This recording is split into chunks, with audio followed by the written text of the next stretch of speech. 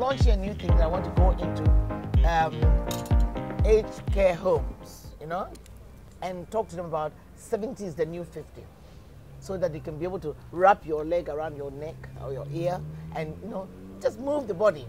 Because if you don't move it, it rusts. I wondered where you were going with that maneuver.